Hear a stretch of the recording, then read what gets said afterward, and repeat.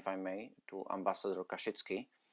Um, do you expect, in light of the current situation, that possibly the in the near future, for example, 2021, uh, the allocation of the funds uh, from the uh, European uh, Economic Area, Norway, Switzerland, might change, might increase, or what's uh, what's what's your anticipation in, in that regard, apart from what we have what we have seen, which is rather plentiful? Yeah. We have uh, for the period uh, 2014 uh, from 2014 to, to 2021 allocation 113 million uh, uh, euros for these EEA and Norway grants.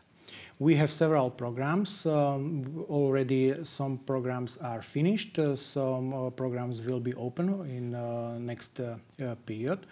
We don't expect that uh, we will have higher allocation than more than 113 million euros.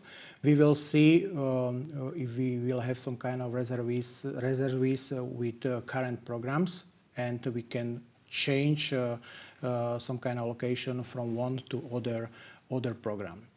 other situation is regarding Swiss financial mechanism. We finish last uh, which means uh, first decade of this program. We are in the phase for second uh, Swiss financial mechanism we will have uh, allocation approximately 67 uh, million uh, Swiss francs. And now we are in the stage of um, discussion and preparation of this new period. Uh, what I can say at this uh, time, um, the focus will be for vocational education, uh, cooperation in, the, in this area and uh, in different order, but uh, uh, maybe first calls we can expect maybe at the end of the next year, which means in current situation it's uh, not at appropriate way to use this um, uh, financial mechanism. Other situation is in uh, uh, uh euro uh, funds because we are discussing about higher amount of allocations and also of uh, free uh, money which we can use also uh, for projects regarding corona corona crisis. Thank you very much, Ambassador Kašický. Thank you very much for your presentation and for uh, interesting additional information. Uh, yes, we all speak a lot about uh, EU funds. One should not forget about the European Economic Area, uh, including Norway and Switzerland, and the funds available for municipalities from these sources. Now I would like to give the floor to Assistant Professor Štefan Rehák, from the Department of Public Administration and Regional Development at the University of Economics in Bratislava, who will present uh, his view on the impact of the current situation on the financing of the city. So, uh, Mr. Rehák, the floor is yours. My, my presentation will be about the policy responses during the crisis and after the crisis of, of cities mainly. So it is more or less uh, about the larger uh, cities in Slovakia and some examples from uh, from Europe, from the from the other countries. So, um, well, I will start perhaps that that cities are great for the economy. All the developed countries, that typically they have big cities, and there is no developed country uh, with just rural population. So cities are great for for for the economy, but on the other hand, uh, uh, cities are typical for uh, density of people and firms, and that's not good for uh, health. And if we take a look on the history, there were many different epidemics which had a terrible um, impact on, on, on, the on the cities. But luckily, all all the time, all the these uh, shocks uh, resulted in innovations in urban planning, and uh, we can name some of the some of the few like uh, cholera uh, and tuberculosis, and all of them resulted in, in innovation in architecture and uh, sanitation for cholera or for um, some new standards for for fresh air and sunshine in in architecture uh, uh, in the time of tuberculosis. So hopefully, all this um, uh, epidemic, uh, which is currently uh, at place, will will result in innovation, which will move to higher levels of development. Well, I will at, at the beginning mm, show some examples uh, from Slovakia, from the uh, eight largest cities, and uh, the way they coped with the with the health situation. I have to first um, perhaps highlight that cities were really rapid with the actions, and I think that even even quicker than the national government in, in some in some way. Uh, and they focus in, on different uh, areas. Uh, First of all, they, they made an information campaign, and you perhaps will see on, on, the, on the next slide that, um, for example, uh, uh, the campaign in Bratislava, uh, which really um, informed uh, local citizens how to uh, practice social distancing. And all the measures during the crisis were mostly directed to, to slow down the spread of the, uh, of the virus and flatten the curve. Um, on the next slide, uh, well, one of the first uh, intervention was uh, in the public transportation. Uh, well, because uh, it was discussed that the infection is uh, spread by public transportation. Actually, one of the first cases was the driver of, of the tram in Bratislava. So, so the, one of the first measures was to secure the public transportation um, um, um, it was an obligation to wear a face ma mask uh, in public transportation. They made, and I, am showing you some pictures. Uh, they they separated bus driver from the from the others and and disinfect the uh, uh the buses. Uh, some of the some of the cities they decided to uh, stop provision of the service and provide or providing uh, free parking or public transportation for free, like it was in Trenčín.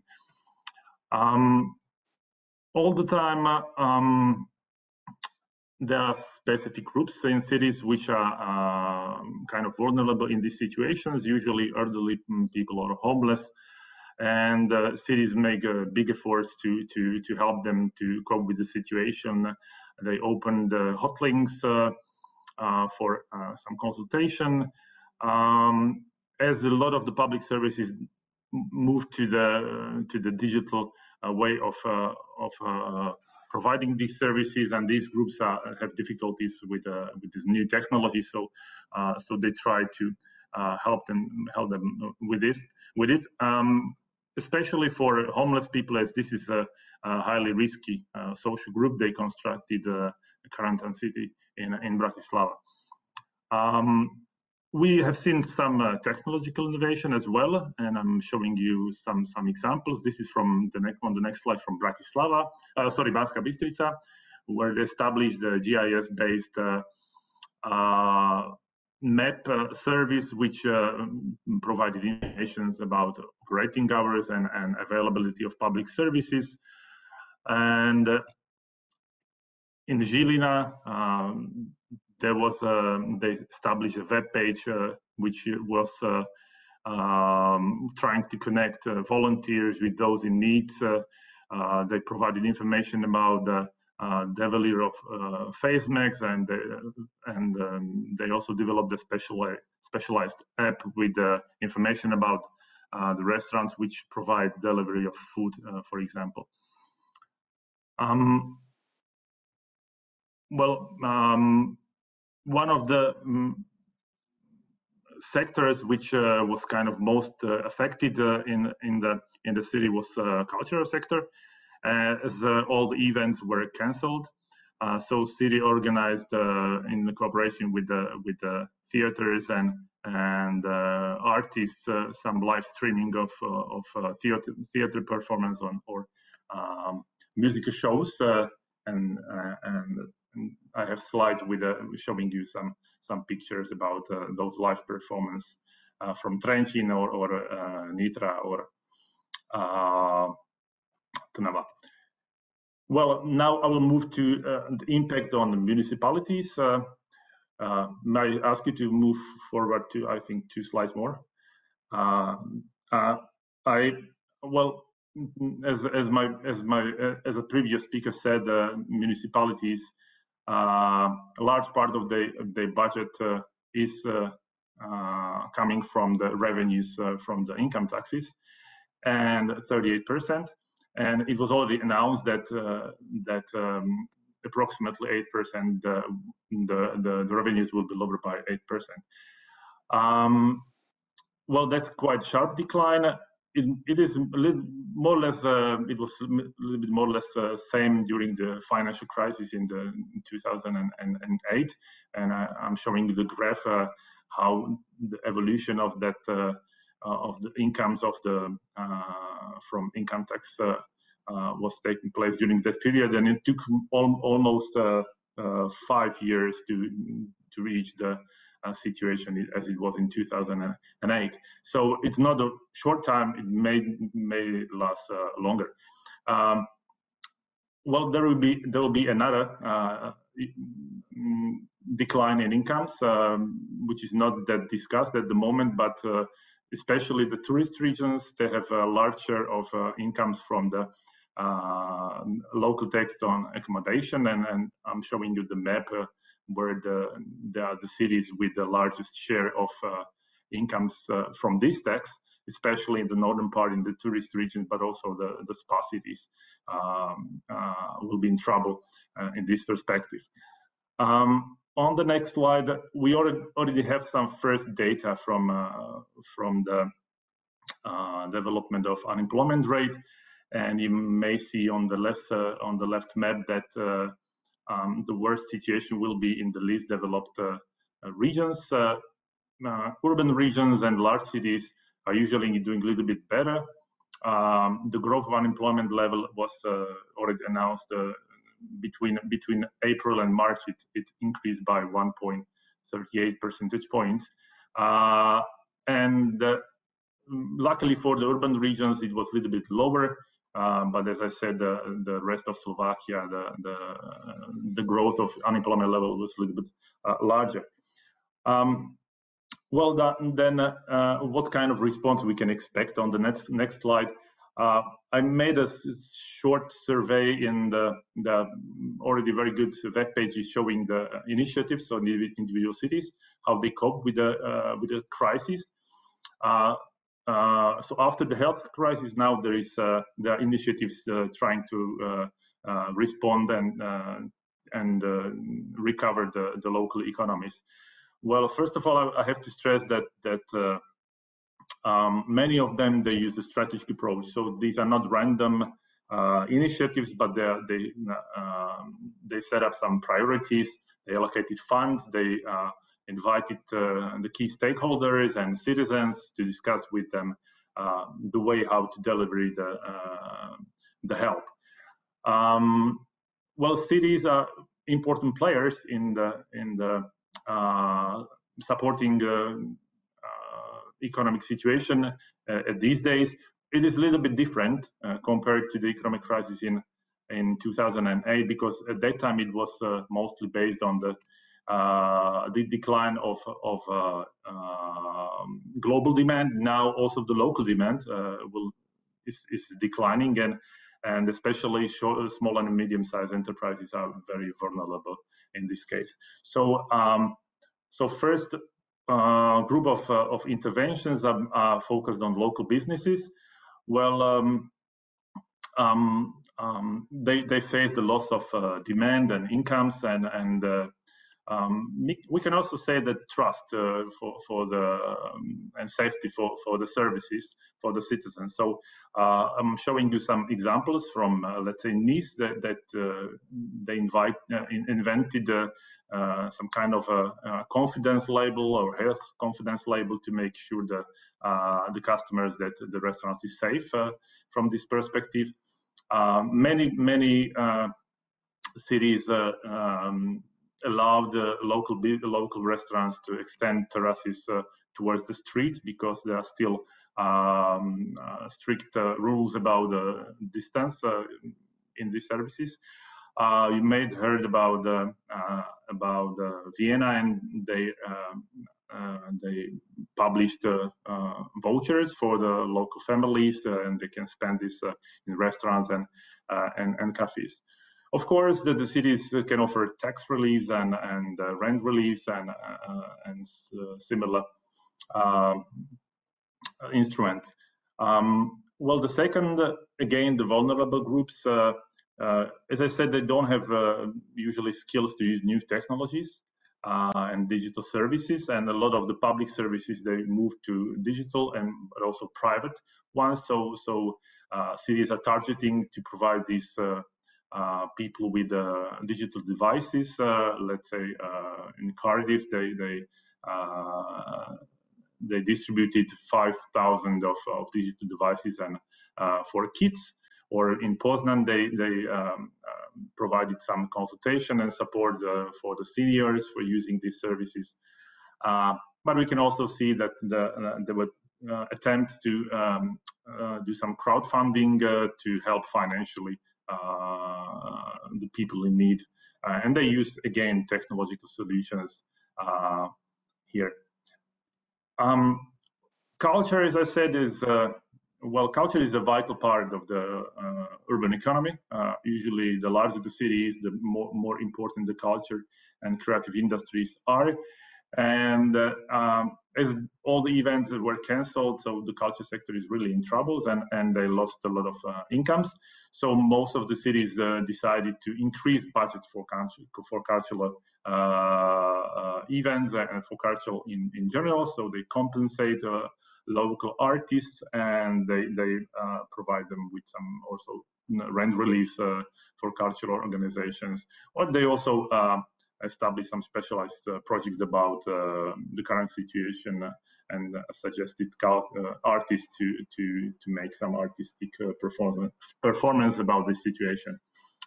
And perhaps last but not least is transportation again. Um, um, cities during the crisis a lot of people, I, I, think there was uh, already announced that in Bratislava there was a decline by 80% of, of the number of, of ridership and uh, um, a lot of people uh, turned into individual transportation and uh, some cities uh, established and built new temporary bike lanes like it was in budapest uh, 10 kilometers. Um, and also uh, as i said already they in, implemented some some in measures to to increase the social distance in the public transportation well, in general, in public transportation, cities have to avoid uh, the peak hours where there are a lot of uh, people uh, meeting. Um, and uh, um, I think that that uh, nowadays this is kind of a strategic also or importance that that cities can use the situation to increase services for individual transportation, like for bikers and those who walk.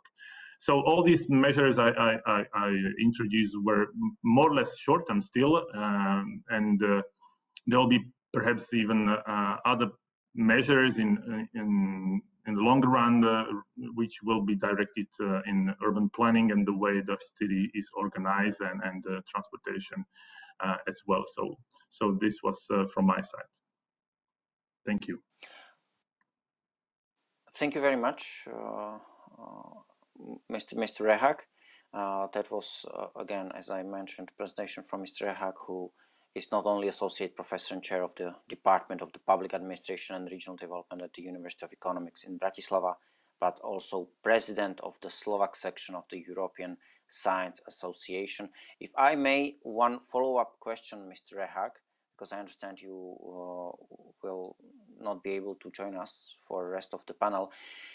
In your experience and for our viewers, what what shape of recovery in the negative economic impact would you would you expect based on experience for from from 2008 to 2009 uh, mm-hmm. it means mm-hmm. after the hit this year what's your expectation for the budgets of the cities and municipalities for let's say subsequent mm. couple of years and when do when would you expect the situation to come up that I, I ask because I, I would assume that's part of the information that might be useful for the cities when planning what kind of uh, timeline they need to adopt when setting priorities and deciding on the inevitable cuts? Mm -hmm. Yeah, thank you. That's a great question. I, I wish I would have uh, an answer for that. Uh, uh, we can only uh, kind of discuss uh, about the future. Well, as I said, the difference between the 2008 crisis and, and, current crisis is now there is a combination of, of global economic crisis, or it is expected to be, and the local crisis, which comes from the decline of local demand. so for the uh, so that's why I, I, kind of uh, highlighted the role of, uh, of cities because they can support really the local economy with interventions. Well, about time. Well, as I showed you on the on on the on, on the graphs in 2008, it, it took like four years to to come back to some kind of normal situation again.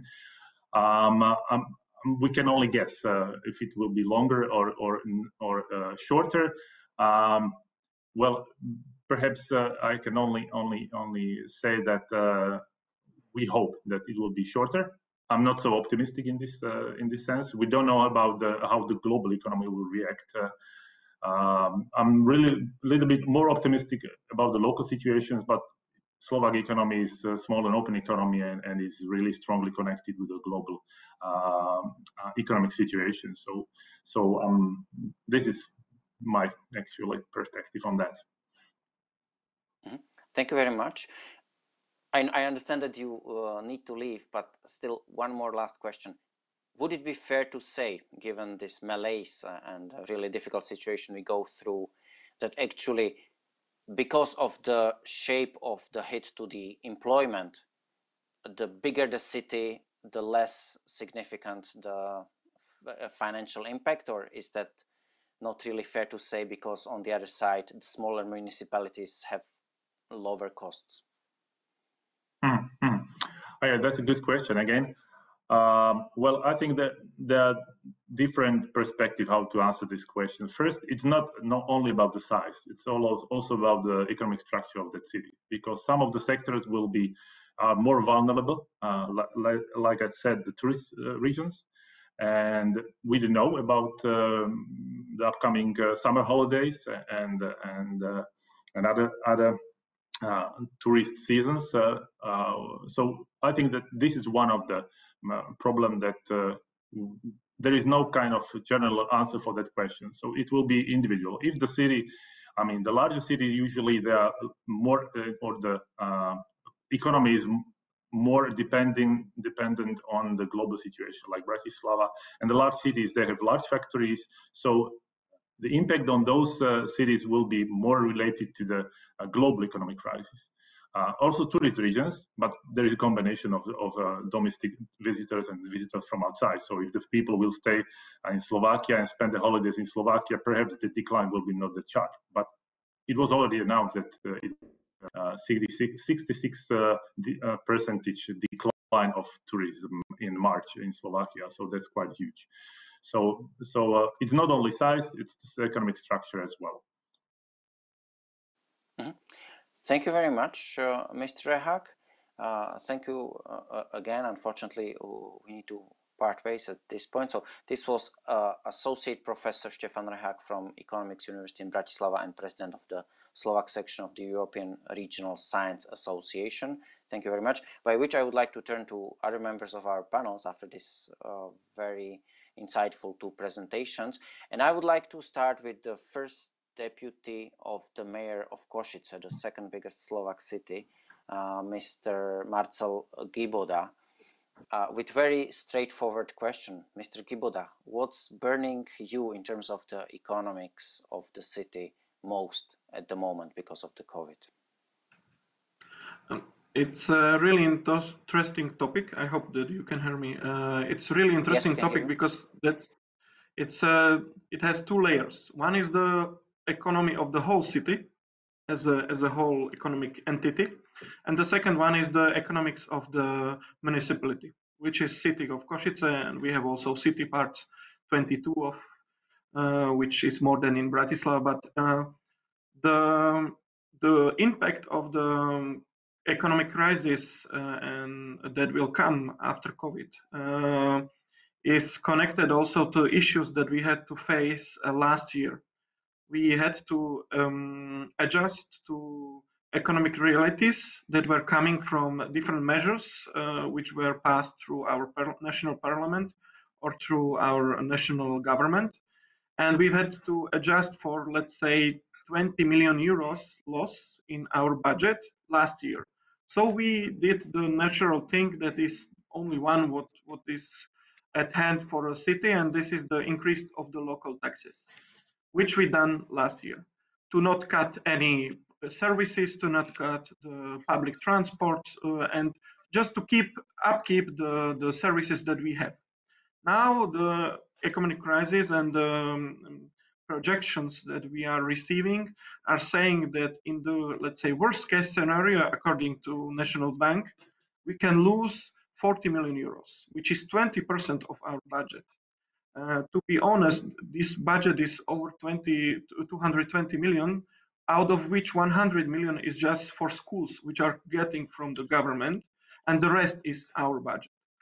And if we would lose 20 million or 40 million, it would be devastating on the on the infrastructure of the city. We would have to close many uh, established uh, public companies that uh, run different cultural projects or city projects, and this would be devastating for the city because I met Mr. Kašický at uh, our visit in uh, in Oslo when we visited there uh, on a, one meeting due to one project uh, that was opened or, or, called for, for Slovak municipalities.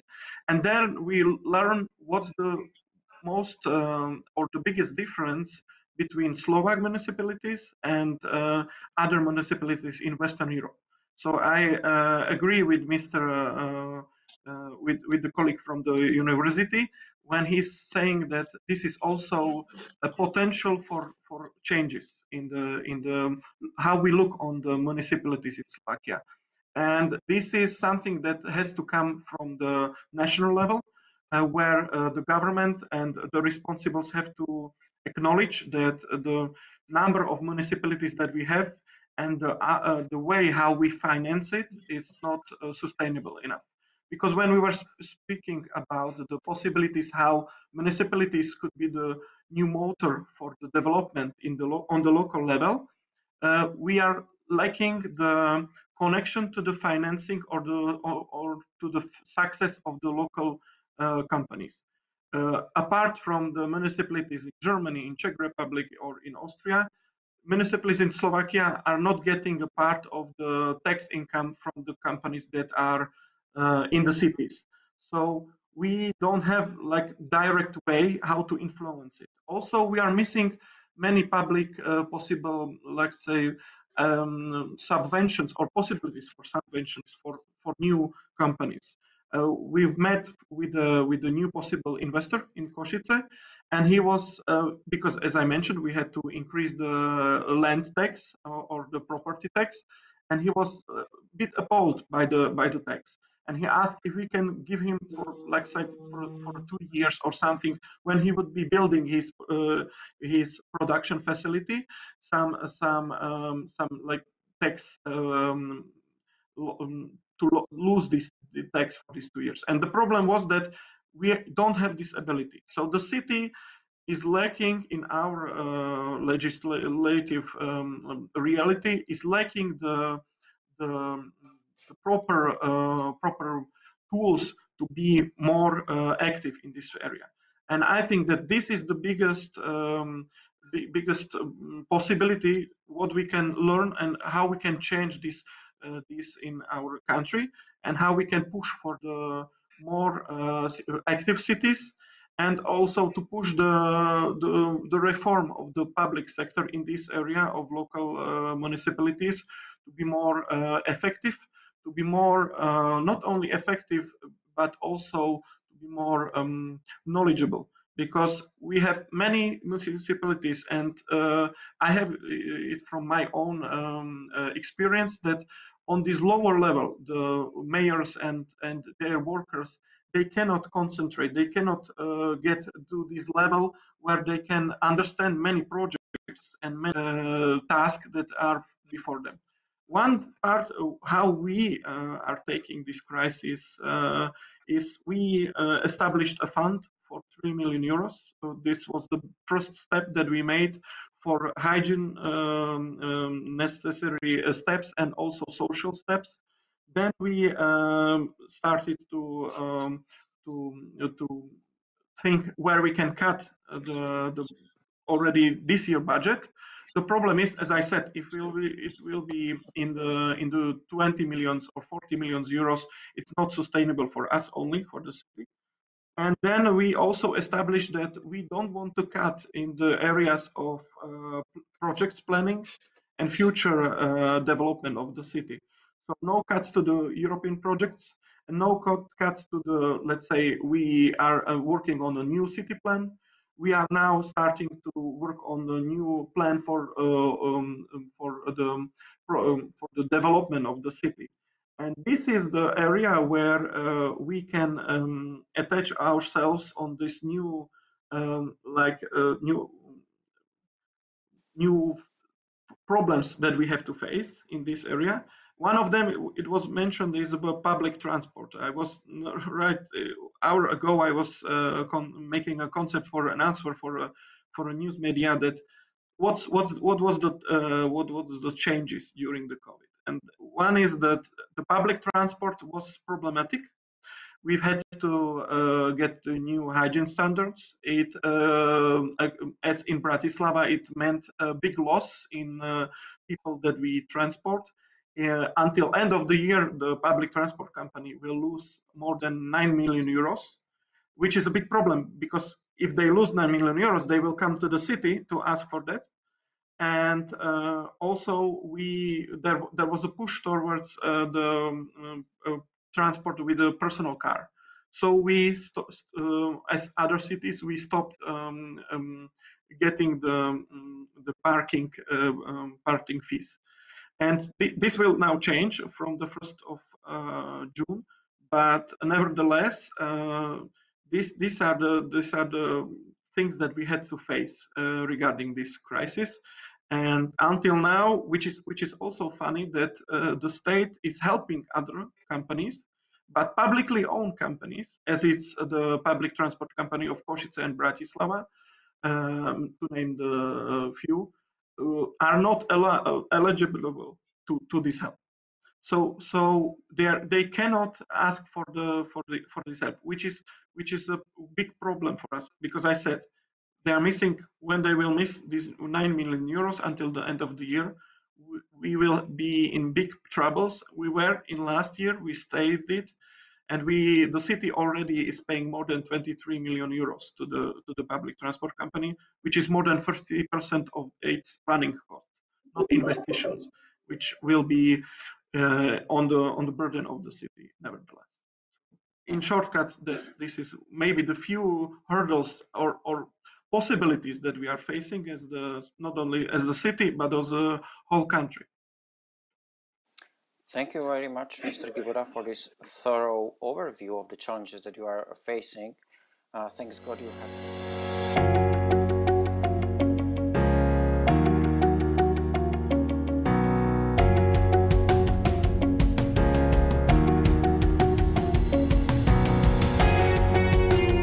thanks God you have this long, over 10 years experience in the municipality.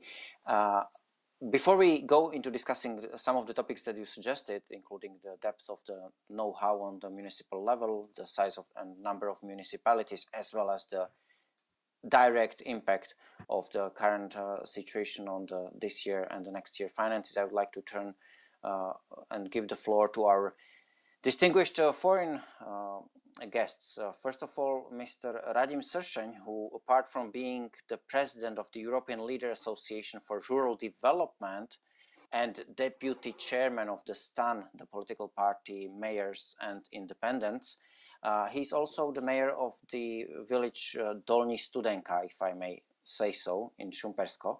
So, Mr. Sršeň, very straightforward question. It's up to you how you choose to answer it briefly what's burning you most at the moment as, as a mayor due to COVID? So good morning to everybody. Thanks a lot for uh, inviting me to this interesting conference.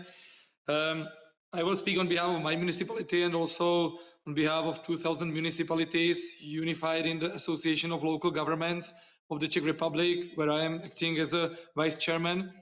And today, actually, we are having a strike because uh, we are hanging a black flags in our municipalities because of the uh, proposed cuts, not just from the tax revenues, but from so-called compensation bonus, which should go to the small businesses which we support very much, but the government took it from our budget. So um, what is um, very complicated in this period is a high level of uncertainty because uh, we do not know what will be our budget at the end. Because first, uh, suppose uh, first uh, uh, predictions were that there will be 11 to 15 percent cut. Now we think it's mo more or less about 20 percent cut, and of course it's very uh, difficult to um, uh, go on with all the investments. Uh, of course, the same as the Slov Slovakian colleagues, we are using a lot of European funds. So we need, of course, first of all, money for co-financing. Even in my municipalities, which is 1,400 population, we are now having investments uh, from European funds, uh, uh, like cost 6 million euros, which is quite a big amount of money with regard to our budget. So it's uh, very difficult. And um, what, but what we believe, on the other hand, is that if we want to overcome this crisis, you know, uh, which is now becoming to be more economic crisis than the health crisis, we need to invest. The municipalities are the players uh, which should invest. And uh, it's not the way that the government supports the local small businesses, giving them 1,000 euro to stay at home, you know. It's not the way. We should support them through giving them work, through the uh, procurement, through making the investments in the in our local governments. Uh, because uh, even the investments going from the local governments are spread all over the country. They are supporting especially the smallest businesses, which are the most vulnerable. Because if just government invests into the high highways and, and and those investments, you know, it's not going all, all around the area. So this is the point which is the Association of Local Governments is trying to push, is that if we want to um, help the best to the local economy, is to invest from, from on behalf of the local governments. Of course, in our budgets there are two parts. One of them is uh, the part which is going from tax revenues, which will probably go down and uh, but it shouldn't go down that much so that we can survive you know to to to work i am sure and uh, I am also a member of the Committee of the Regions and European Committee of the Regions, and I am vice chairman of the Commission uh, for Natural Resources and Rural Development. And uh, uh speaking to my colleagues all around the Europe, I think that the existence of so many municipalities it's we call it family gold that you know that um, the outcomes of those municipalities uh, uh, and the, the, level of the local democracy is uh, really amazing. And it doesn't cost so much. It's about, in the Czech Republic, 100 million euros per year is the existence of all 6,250 municipalities. So it's not that much money once we are all, all the time speaking about uh, effectivity. So, um, sorry. So um, we need to find a model how to bring the money from the government to the bottom and to decide on the local level. And I really very much appreciate the bottom-up approaches. I very much believe in the territorial instruments like ITI or CLLD, community-led local development. It was leader before, and I, I spent a lot of my life in uh, in uh, spreading leader, not just in within the European Union, but also but also in Georgia, Armenia, and Balkan. So I really believe that it works very much if the investments are done bottom up with, uh, with uh, the strategies are negotiated bottom up and we need now to reallocate uh, resources. You know, now in the Czech Republic, the government is printing money, you know, because uh, it uh, wants to invest. Uh, our debt it's not so high, so we can afford it. And um, our motivation is so that as much money as possible goes to the local governments to support the local projects. And also there is still about one to two billion euros spent uh, left in the uh, ESIF funds for this programming period, which should be spent. So now we are also working on reallocation of the European funds for this programming period, which should be spent or reallocated in this year. to give more money to the local governments because there was there was uh, uh, a big amount of projects which couldn't be supported, which are prepared for uh, investment immediately, but they were not supported. So it's just very easy to support them because all the staff, all the administration was done. So this is the way what we are trying to persuade the government to reallocate, reallocate the money to the prepared projects.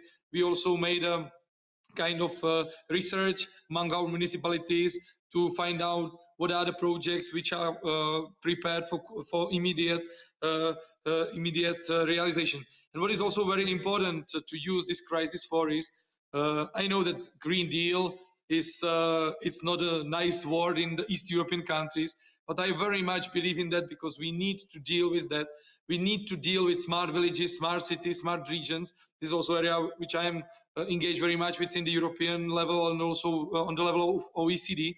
So I think we need to use this opportunity to to stimulate this new thinking about the investments. And uh, uh, what is a big problem now that uh, it's a very dry season already, or dry years for last years. So we need to retain the water in the countryside. We need to think about the energy efficiency. We need to think about the community sources of, uh, of energy, uh, renewable energy. So I think this is also a good opportunity to stimulate it through the through the funding uh, through the European funds and also some other funds. So I think, of course, there is a crisis, uh, but I think we should also find a positive side on that and uh, to find the challenges for us. And what I, I must say, I was uh, not because I am. Uh, we have two kinds of mayors in the Czech Republic: full-time mayors and non-full-time mayors. So I am more engaged in work on the uh, European field. I'm teaching in university and working. So I am not full-time mayor, but now I spend so much time, the most time in my municipality probably in my life. But you know what's very nice to see how the people are really uh, doing a voluntary work, helping to each other. So I think this is also a very important motivation of this period, of this crisis, to uh, to use it for the future. And uh, so this is actually the basic uh, basic uh, overview from the situation in the Czech Republic. But uh, especially thanks to the so many mayors, so many municipalities, and the regions we have in the Czech Republic, the situation was overcome quite well but uh, you know it was uh, like in partisan war because you know we did not have of course um, uh, resources. We did not have masks and all the stuff respirators. So we had to go on how how how like uh, improvise. And i think we succeeded very well. Also thanks to the existence of so many local governments and uh, regional governments in the czech republic. Thank you very much. That was mr radim Sršeň president of the European Leader Association for Rural Development.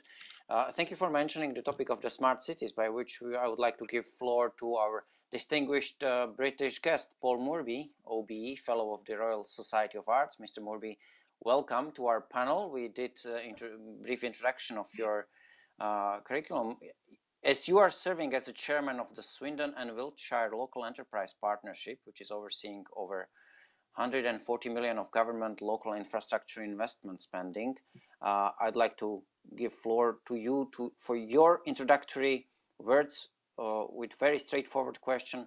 What's burning municipalities across the channel most because of the COVID? Thank you. Uh, great question. Um, I was talking to some uh, rural farmers uh, and they said simply, we cannot furlough cows we cannot say to cows, stop producing milk, uh, stop eating the feed. Um, and, and that made me think very much um, the, burning issue for us. The um, we have a city near uh, my office here who last year noted that as a smart city they only have three days food supply. Um, and the problem for us in the first week of the emergency was that people stopped eating 50% of their food away from the home. They stopped visiting restaurants, they stopped having sandwiches at work.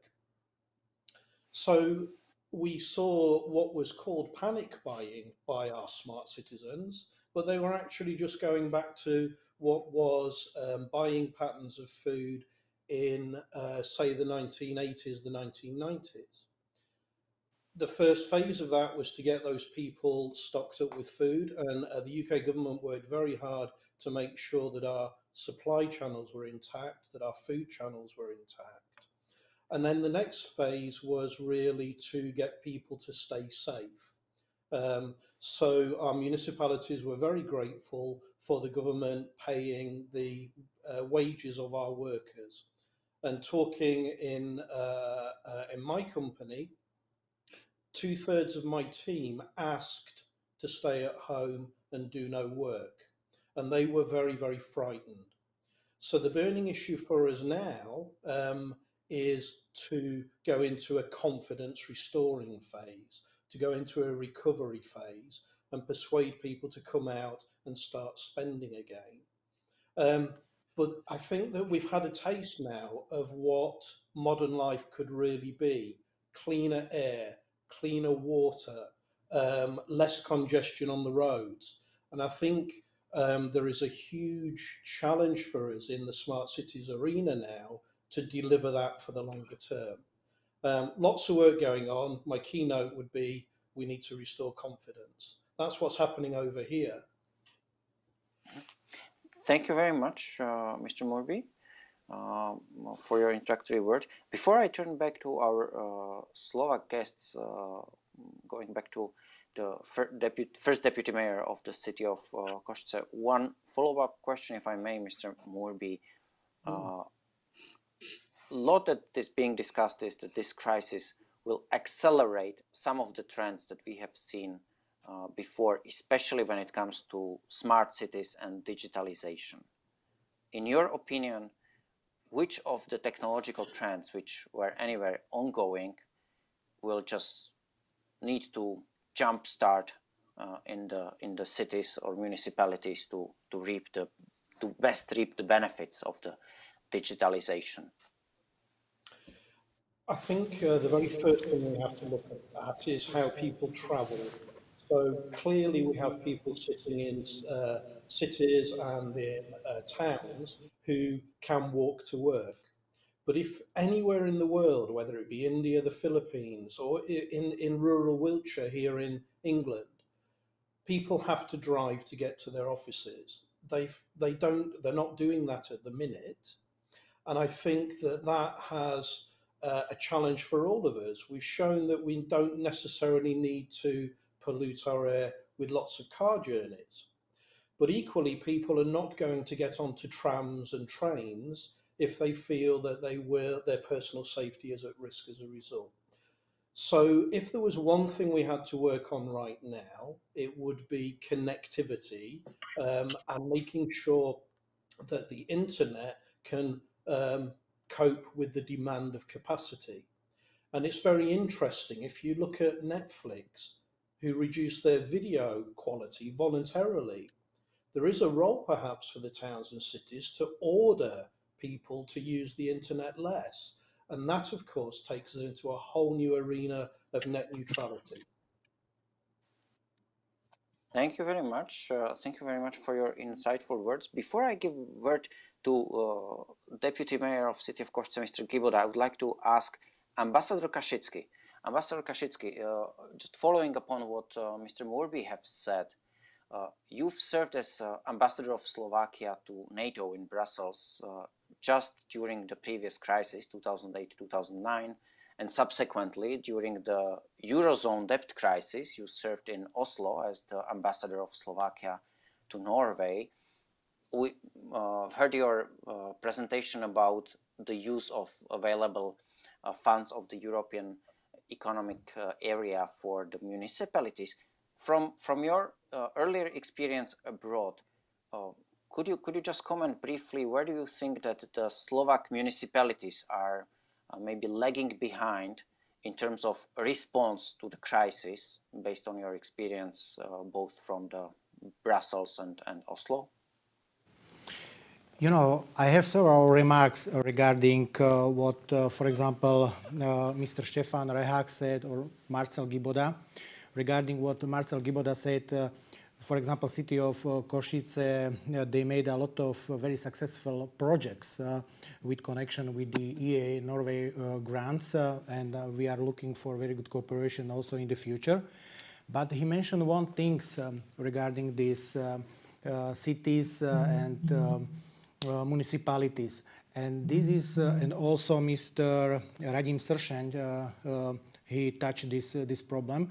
And this is co-financing of uh, projects regarding EEA grants, Norway grants, Swiss financial mechanism, or uh, European funds. This is very important because, uh, from my point of, point of view, more easy way is to have grants, which means 100 percent of financing. Because if you have co-financing, for some uh, cities is not problem, but for part of cities or uh, small towns, uh, they can create a lot of uh, problems. And usually, if you are using uh, funds, you need to have some kind of uh, co-financing. Mr. Štefan Rehák touched this area of European funds only for information that uh, regarding uh, European structural and investment uh, funds, uh, free resources uh, will move, for example, in Slovakia, in area on employment rotation. It will be approximately uh, 100, um, 507 million euros. Also, support of small and medium-sized enterprises, like Mr. Radim Sršeň said plan in Slovakia is use uh, approximately 330 million of euros uh, from the EU funds. And also uh, healthcare system is also one of area when uh, we have planned to use uh, approximately 250,000 250,000 million uh, euros.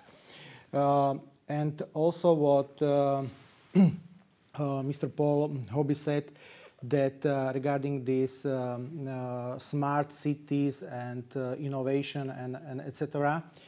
From my point of view, this pandemic raised um, the value of being digital even higher. And uh, we can say that uh, uh, Corona crisis is a change way of doing uh, business. Uh, it, it, will not be uh, business as usual as we use this expression in NATO in NATO before, because as I mentioned, this electronic decision uh, making took a huge step uh, forward and uh, also we have had some kind of problem in municipalities with they could not even meet and take decision, and uh, decision was to use this uh, electronic form. Uh, at the end, one thing regarding this uh, uh, smart city. Um, uh, cities, um, we have very good cooperation, our Ministry of Foreign Affairs, with Slovak Smart Cities Club. And for example, together with, uh, with uh, Sweden, uh, Danish, uh, Norway, we have very good cooperation in a very unique project. And this project uh, called uh, Summer, Smart City Summer School. Um, almost 15 years we are doing this, not directly Ministry of Foreign Affairs, but this Slovak Smart Cities uh, club, and this is a unique uh, place for sharing knowledge, experience, and uh, information from cities from the overseas to our municipalities. How can um, do it in a proper way uh, with these uh, difficult times, uh, but also with this corona crisis and uh, sharing information and uh, knowledge regarding, especially with this uh, smart uh, solutions uh, uh, in the cities. Thank you very much, Ambassador Kašický. Thank you very much for your insightful words regarding the impact of the current situation on the municipalities. So we have both influence of the COVID on the big cities and the rural areas, and we have nicely represented uh, uh, speakers on this panel. Uh, Mr. Gibóda, uh, the first mayor of the city of Košice, I would like to draw upon what uh, Paul Moorby, OB, has mentioned. One of the topics that's also uh, overlapping, uh, the general uh, overlapping topic is that COVID will change the world for good in some ways. And one of those topics, which is also concerning very directly, as you mentioned, also financially, the big cities such as the Bratislava or Banská Bystrica and uh, Košice, is the way how people uh, use transport, public transport, individual transport, uh, future of the telecommuting. Uh, what's your view on what impact of the current change so that, that you have already mentioned, that was the, uh, the drop in revenues of the public transport during the quarantine, will be only temporary in your opinion? And what impact will be permanent here to, to, to stay? And how, how do you envision the cities like Košice responding to not only this, but also other aspects of, of this COVID on the uh, financing of the municipalities uh, also, if you wish, you could touch also the other aspects of the digital smart smart cities. Mr. Gibóda, floor is yours. Thank you. As it was mentioned, um, the current situation changed the way how the business is doing their business. It changed the way that um, the personal meetings had to be um, changed to virtual meetings. And also this is affecting the public transport to the work and from the work. But I don't think that this will be um, upheld for, for every business because many businesses are uh, dependent on the people present in their in their production, and uh, for that we have to um, apply different measures. And as it is showcased by the um, cities and um, uh, countries in uh, Asia, it's possible it's nobody is asking if you have to use or uh, if you are ill yourself to use uh, the um, the cover for for your month uh, when you are entering the public transport. The, also the hygiene in these public transport uh, vehicles in in Asia is much higher. So this is where the cities and also the private companies have to step uh, step up and to to implement more uh, robust measures to be able to, to say to the customer that yes, the public transport is safe enough for you to, to use it in, also in these times of crisis. And I think that our um, people are really um, acknowledgeable and they can uh, live with measures in times of crisis. But it's also necessary to to keep up these uh, these measures um, in place uh, also in times when we are not expecting the crisis, and this could help us prevent the crisis also in in a foreseeable future or for the coming back of the COVID-19. And uh, we were very fortunate enough in Košice uh, that we didn't have any um, deadly cases and uh, only a lower number of cases, uh, more less than 20 in the city itself.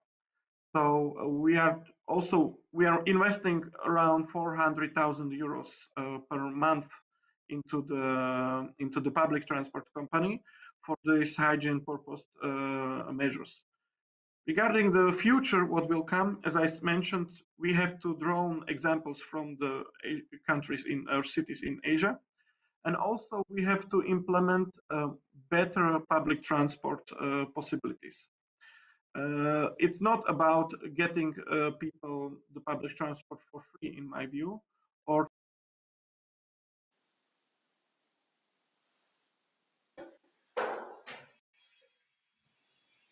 I think we lost Mr. Uh, Gibóda, unfortunately. Ah, uh, there seems to be a little technical glitch. Nevertheless, Mr. Uh, Paul Moorby already mentioned the inevitable impact of the current crisis on in, in the rural uh, rural communities. Uh, also, I would like to follow up upon what uh, Mr. Kashit, Ambassador Kašický has has mentioned. Yeah, sorry. Mr. Gibóda is back. Oh, sorry. Apologies. We yeah, some glitch in the in the tech, you see the technology is not always perfect so so just to conclude on it um, it's also important and we saw it uh, to connect also it uh, the public public transport with other uh, transport possibilities in Košice, we are big on uh, thanks one private company that's running the system.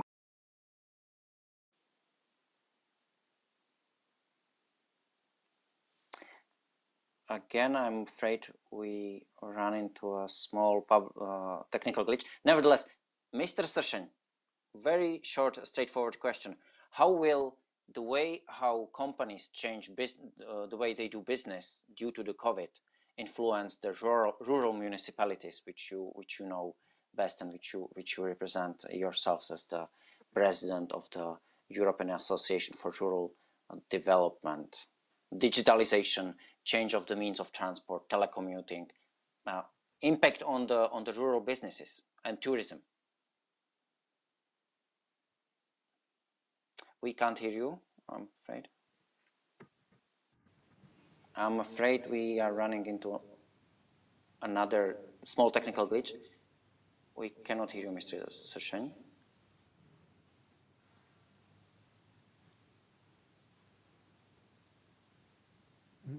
Uh, no, uh, unfortunately, the technology is against us. Just as we run, oh, can can can you say something, Mr. Sršeň?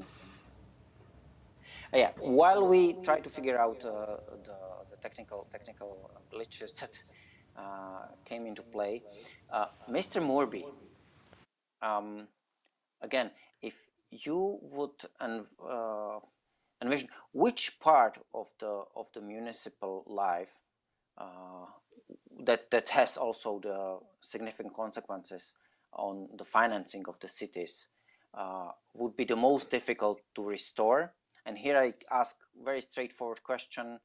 A lot is being discussed about uh, part of the restaurants and the gastro business going out of out of business. Uh, same for the hotels, uh, part of the tourist industry. Uh, what's your take on this? And to what extent would actually the cities, the municipalities, would need to completely revamp their financing models after COVID? Thank you. good question. Um, in my view, um, the biggest single impact uh, of the um, pandemic uh, has been on young people. Those people who have very little resources, they're at the beginning of their careers, and in our local colleges, we have apprentices that can't continue their training and therefore um, can't go out and, and move into their careers full time. We also have young people who uh, are saving for cars, consumerism, they're saving for their first houses. All of those plans have um, been delayed at best and, and wrecked at worst. And then, of course, if businesses are deciding that they don't need as many employees, it's usually the young people that go first. Um, so I think the cities and the towns need to be aware that human beings are all social animals um, quite rightly so. But young people like to get out and consume. They like to go to the restaurants. They like to go to the bars, the theatres. They like to travel internationally. Um, that are, those sectors are going to be the very last sectors that, quite rightly, both national and regional governments, towns and cities will allow to, to go forward. And if we are into a situation where you go away for three days to the beautiful city of Bratislava, uh, 14 days there and 14 days back in the UK quarantine is simply not going to work. And then I think the other thing that's important is that in the UK, 80% of our economy is services. Uh, and that those services are performed by well over five and a half billion companies that are MSMEs. Now, those people um, are the people that have suffered from the lack of income. And I think that we need to be very aware that if we're not going to go into deflation and we're not going to see ghost cities and ghost towns, we need to get those people economically active as soon as we can. Thank you very much, Mr. Moorby. I hope our technical issues have been resolved and I can give a floor to Mr. Radim Sršeň, if you can hear me. So, Mr. Sršeň, if we might again, your take on the uh, rural municipalities after the COVID.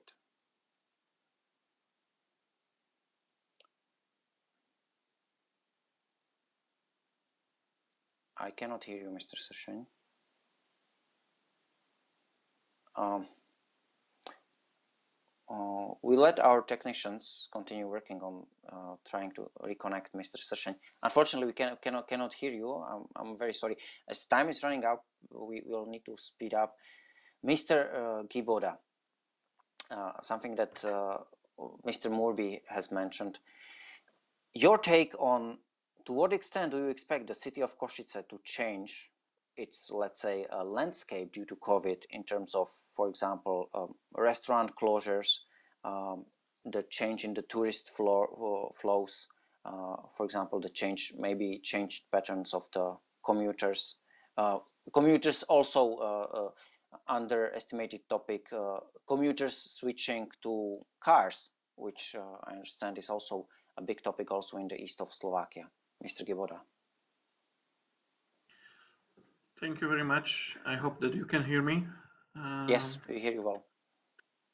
The, the one push would be in, as I heard it on one forum regarding this topic, it would be maybe in the development of the of the of the flats building that people would be seeking bigger flats uh, due to this uh, crisis, that uh, they will be seeking uh, to have a bigger, bigger home to, to be able to, to, to live through such possible events. Another topic would be the, um, the, the view how the city manages its not public transport, but the transport of the goods. This would be the big topic uh, because how we will sustain the deliveries, not not in this case to the shops, but in this case to the to the homes itself. And uh, this this is also what we have to take in regard when we are planning for the future development of the city. And uh, also uh, the question is um, how we will manage the transport inside of the city. Uh, and as I mentioned, and I couldn't finish it, it was uh, regarding this uh, public sharing capabilities, which is like uh, bike sharing, and also um, the people who are just uh, taking their wares on foot. And for that, we have to provide better ways how the city is reachable and how the services are reachable for the city. And it was, it is, as it was mentioned by the colleague uh, from England, I presume, uh, the the services I am also the head of the of the uh, cluster that is responsible for the uh, for the tourism in Košice and the service sector. It was the first hit in with this with this crisis. Many restaurants, the immediate uh, thing that they made, they released their workers because it was um, unbearable for them to uh, keep the keep the premises closed for one month and so on. So this is this will be the most uh, most affected uh, thing uh, for for the, for the cities and for the survival of the cities. And uh, I think that the services are more concentrated in bigger cities than it's uh, in rural areas because we are providing these services also to the um, um, smaller villages that are around the city. And that's also connected to the cultural uh, aspect and to the sport sport premises. That's why, for example, our city is not not cutting any any funds to the sport sector of the young uh, pupils, and also we are not uh, cut, cutting or or we uh, we change the way how we are supporting the cultural sector, uh, so that we uh, not support the the events that are not held, but to support the the the, the not companies but the uh, the open uh, public uh, entities that are providing these services for the city because we see it as really something as a as a past European capital of culture uh, as a as an aspect or, or, or area that we have to provide for a sustainable uh, future development of the city. If we lose this sector, if we don't support it now in the time of crisis, we will lose potential for the for the future development. Hmm? Thank you very much, Mr. Gibóda. Unfortunately, we are running out of time. If we hear Mr. Radim Sršeň, I would like to still give floor to him. Mr. Sršeň, can you hear me? I can hear you. And can you hear me? Excellent. Excellent. Mr. Great. your take, your take on the impact of the current situation on the especially rural municipalities. very mm. briefly, as we are running out of time. Actually, according to my opinion, because I, I work for my whole life, I studied and abroad and worked in Brussels and came back to my municipality where my mother was a mayor for 10 years to be a mayor after her. So uh, I try, really try to attract young people back to the rural areas. And I think this crisis can uh, show that it's possible. But of course, we need broadband. We need good connection. As you could see now, it's not that good that it should be. And I am very much inspired by South Korea, for example. It's amazing that the uh, movement, migration of people is now from the cities to rural areas, but not just to suburban areas, but to all rural areas. And I think that the possibility of home offices, which was uh, unbelievable before March here in the Czech Republic, especially even at ministries, etc., is not working very well. I have my friends who are projecting high-speed railways from the cottage in the mountains, you know. So I think broadband connection the change of uh, thinking about the work. Uh, like in finland for example 40% of jobs are home office jobs you know? So this is possibility which uh, can be beneficial for the rural areas. It means we need good uh, infrastructure. We need the change of the attitudes and change of paradigm uh, and also thinking about uh, about the work and jobs. And um, of course there is a so in this with this regard i think that the smart villages smart cities, smart regions concept is very valuable and we should learn from each other. I very liked the idea of smart city uh, school, uh, summer school, and we will think some, about some projects to do smart villages school and to share experience with colleagues from North, North Europe, Scotland, and, and South Korea, for example. So I, I, believe that this is a very good challenge and it can help to the rural areas in the future because the people see that it's not uh, it's possible to work. And concerning the transportation issues, I think it's another big challenge because uh, I live 250 kilometers from Prague. Uh, the state of the roads is very bad, so even the businessman going in his luxurious uh, Mercedes goes for four hours sometimes to Prague, and if he, if he sits on train in Zábřeh, it's two hours. So a lot of people, most of the people from the region are just going to the to the places uh, where they just change uh, the mode from the car to the train. And i think it's very working very much. And also in the cities now even in the regional cities like almost now we are trying to uh, start some new forms of transportation. So i believe that the transportation the public transportation and i like very much the comparison with uh, asian countries uh, that it's the future in a way. And i think we should take all those challenges together and I really believe in, in better future of the rural areas. Thank you very much, Mr. Sršeň. I take the uh, privilege of making your words the last words of this discussion because unfortunately we ran out of the time and even though the discussion was highly interesting and uh, at this point I would like to thank all our viewers unfortunately we are not able to take the viewer questions this time but most of all I would like to thank our distinguished panelists who were Radim Sršeň the mayor of Dolní Studenka and president of the European Leader Association for Rural Development, Marcel Gibóda, the first deputy of the mayor of the city of uh, Košice, His Excellency Ambassador František Kašický, uh, As Associate Professor Štefan Rehák, who's no longer with us, and last but not least, thank you very much for your insightful views from across the channel, Paul Moorby, OBE, the chairman of the Chipside and the chairman of the Swindon and Wiltshire Local Enterprise Partnership.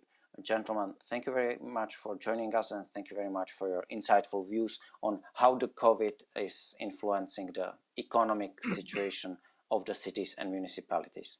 Thank you for joining me. Thank you, thank you very much. Thank you. I wish you all the best. Have a nice day. Bye.